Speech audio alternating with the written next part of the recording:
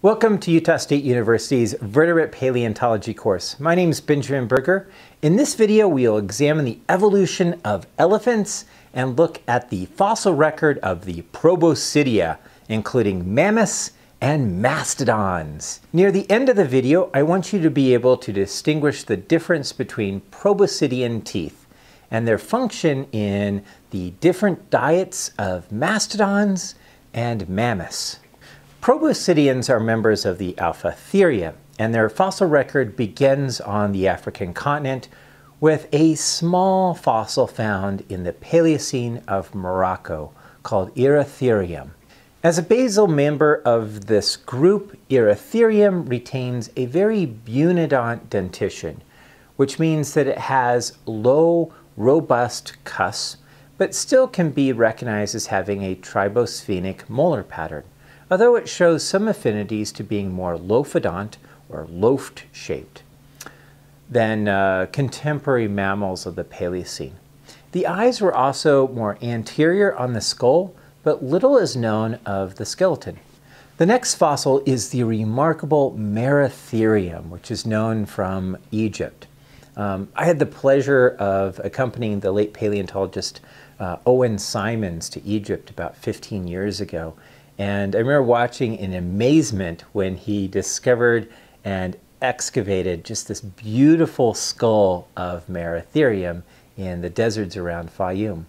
Now we know a great deal more about Moeritherium than Eritherium. Moeritherium is known from the Eocene, uh, from multiple well-preserved skeletons, and it was an aquatic mammal with large tusks which are formed from the incisors. So both the uh, lower and upper uh, tusks were developed by the Eocene, but the trunk or the long nose that we see in modern elephants was still pretty rudimentary. The body was elongate with a more numerous vertebral number and a very open rib cage.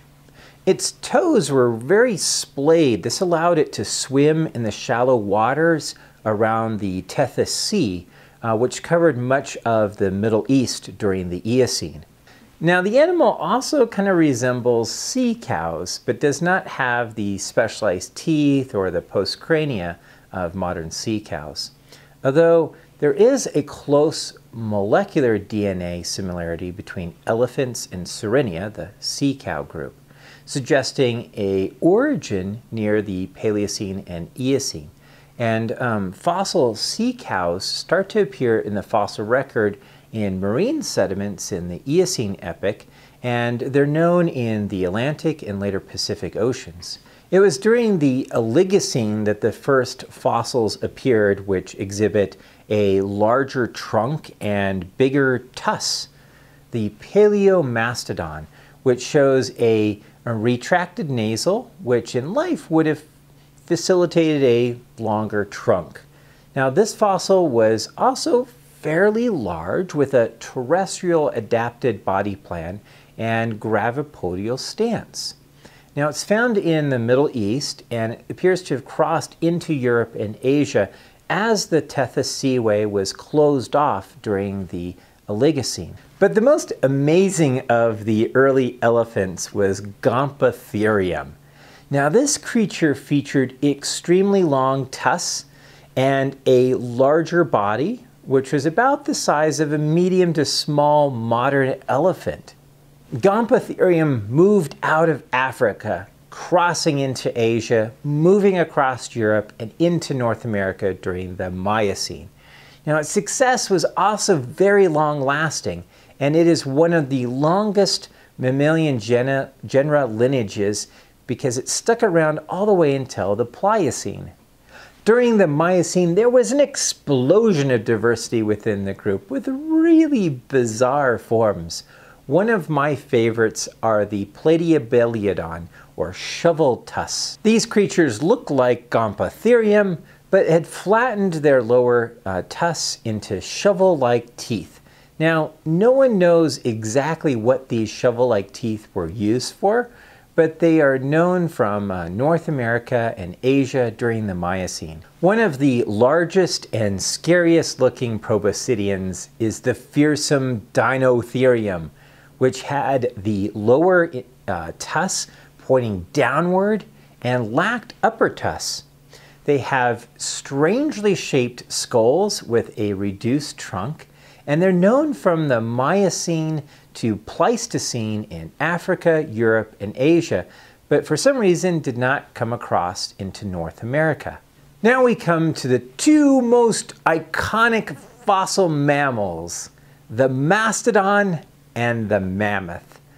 Both near survivors into the modern day, and they lived alongside humans, which means that our own species interacted and hunted both of these creatures.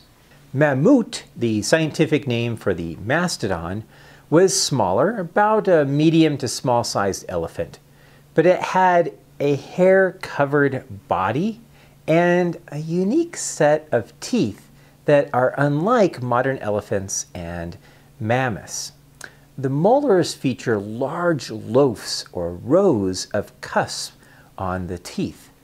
These loafy teeth likely were used for browsing vegetation, and the study of their dung um, show that they had a wide diet of plants, including hazelnuts and gourds and grapes and willow and ash leaves and cypress.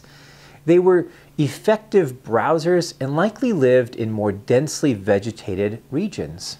Mammuthus, or the woolly mammoths, lived at the same time, but their teeth resemble modern elephant teeth and are flat, grinding surfaces with ridges of cementum and enamel that makes them uh, more effective for chewing uh, grass. Now, the diet of woolly mammoths consisted of grasses, similar to modern elephants living today in Africa and Asia. Woolly mammoths were larger and they likely lived in more open habitats on the Great Plains and the Siberian steppes, but both groups are found throughout North America, from specimens near the North Pole to ones down near the Mexican border. Now, both mastodons and mammoths, despite their different diets, lived kind of roughly in the same geographic region across all of North America.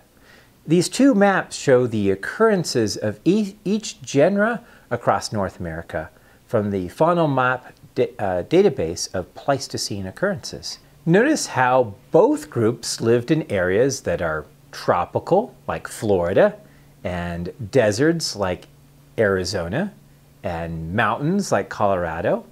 So these animals were highly successful in North America and they only went extinct with the arrival of humans around 10,000 years ago, with some remnants uh, hanging on in the high Arctic until around 6,000 years ago. Next time you go for a drive, look out the window and imagine mastodons and mammoths in the trees or fields that you drive past.